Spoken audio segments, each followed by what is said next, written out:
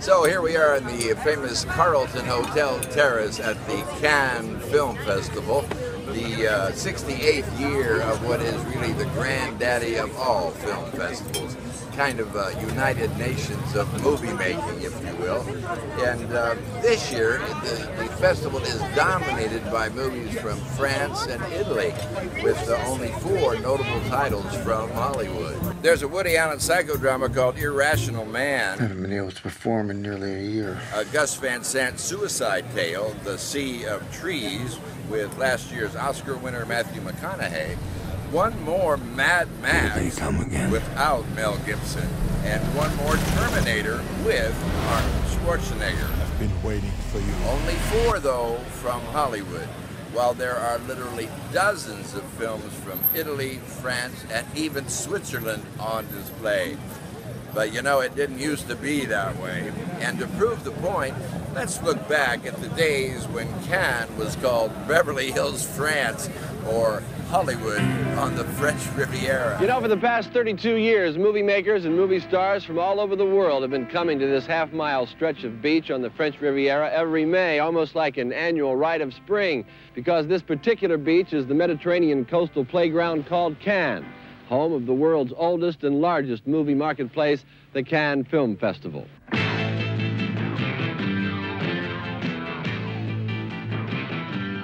That's the uh, look of the French Riviera from a boat at sea in the Mediterranean Sea. You know, I've been covering this circus called the Cannes Film Festival for five years now, and I have to tell you that every year, just the idea of being able to come here to this part of the world and get paid for it always reminds me of um, how magical the words French Riviera and the south of France sounded to me the very first time I ever heard them a few years ago when I was about 17 years old and um, living in a place called Columbus, Ohio. I mean, the glamorous and truly exotic images that I could conjure just by hearing those words um, were really incredible. And I must say that this part of the world still lives up to all of those boyhood images. The funny thing is, most of the people who come to the Cannes Film Festival never get a chance to see what this part of the world is really like. Because the Cannes Film Festival is definitely not what the south of France is really like by any means.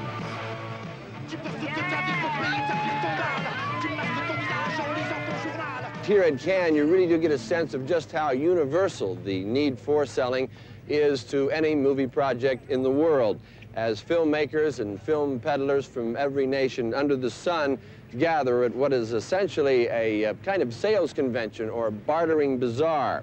Cannes may be famous for its topless beaches, but the film festival is famous for its bottomless well of attention-getting techniques. Liza Minnelli's surprise visit will be remembered as a frustration to the press since Liza dodged cameramen at every turn and spent most of her time in hiding. But Liza wasn't hiding her excitement about being in Cannes any more than I was. No, but it's wonderful for you because I, I you know, I'm in, I'm in this business, supposedly, you know, mm -hmm. whatever this business is supposed to be. Showbiz. And I watch you. So for you to say that you're excited, I'm is very important. But were you hesitant about coming here and Not uh, at all. subjecting yourself to whatever your I don't feel like? I'm subjecting myself. Everybody keeps saying, you know, you're you're going to be in for it. Oh boy, you're going to be sorry. I, and and then you're here, and, and I don't think of it as a hype. There's so many photographers around. I, I, I oh, too many. Sorry about that.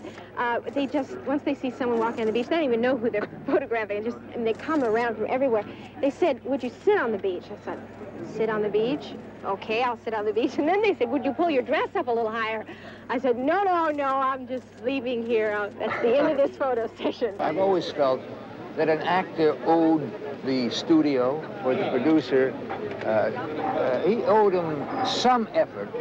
Uh, you know, how far depends. I mean, for example, if they asked me to be here, you know, in this kind of confusion for a week, I'd say no. if they say the price is too high, if they say, would I come down here for uh, maybe a day and a half, yes.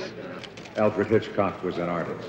Curious to me, why would you lend your name and your own credibility and stature to a tribute to Alfred Hitchcock, a man who devoted his entire career to violence, bloodshed, mutilation? I think uh, Alfred Hitchcock's uh, genre was suspense. This is not a doggy in the window. I'm not sure what it is, but uh, this too happens at Cannes. People come through revolving doors, and you never. In fact, here he is now. Oops!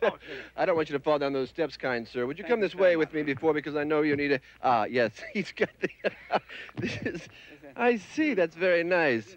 Um, I don't quite recognize you because of the the uh, the the face. What happened to the? Are you trying to hide? No, I would. No, David, I wouldn't try. Oh, this. Yes. No, I um, Your countenance. I, I had a. Uh, I don't know. I've been getting this all over my body recently. There's a lot of hair. Hair. Yes, and um, I see. I think it's probably just burgeoning virility. You know that I just can't keep in any longer. There's no virility quite like burgeoning virility, as a matter of fact. Burgeoning virility is probably. yes.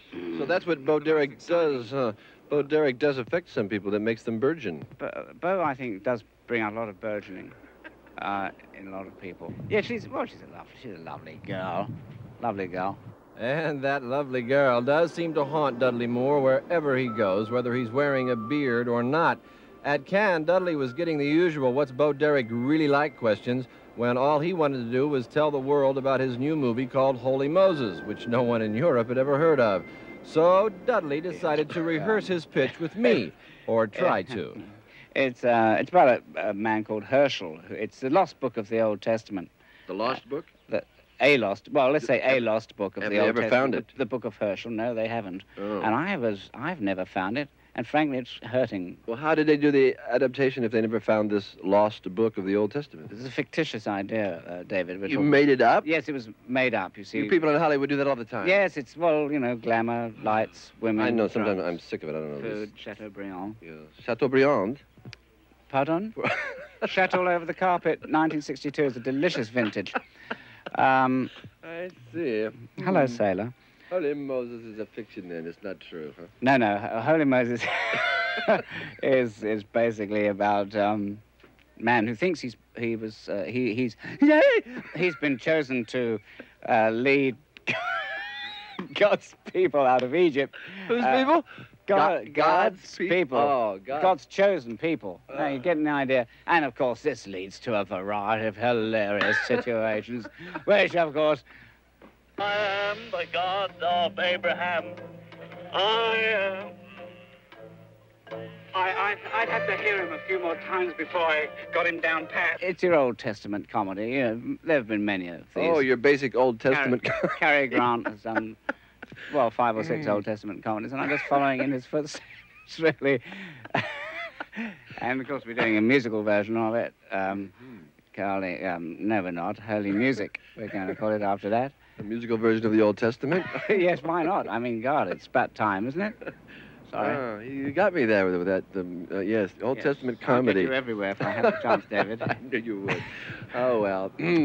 yes, goodbye and good night, and God bless you. Who me? Yes. Oh, thank you. well, have to fly. So all that jazz has made it to the French Riviera, and um, it really is surprising for me to learn that this is actually your first trip to the Cannes Film Festival. A, a man of your um, esteemed background in the world of cinema, with films like uh, Cabaret, and, and Lenny was even a, a big contender in the festival one year. I would have thought that um, you might have been here before, but um, you're, you haven't. I wanted to come in 75 when Lenny was here. And as, I don't know if you remember, but Valerie Perrine won a prize that year.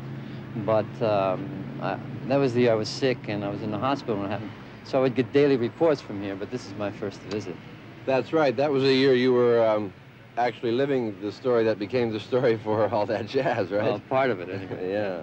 Despite the decidedly international flavor of the Cannes Film Festival, the entire spectacle is becoming more and more dominated by American movies.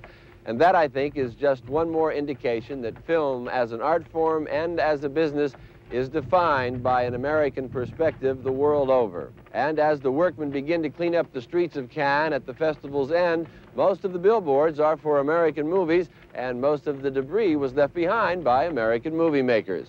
Cannes will remain on the French Riviera, but the compelling force in world cinema will return to Hollywood.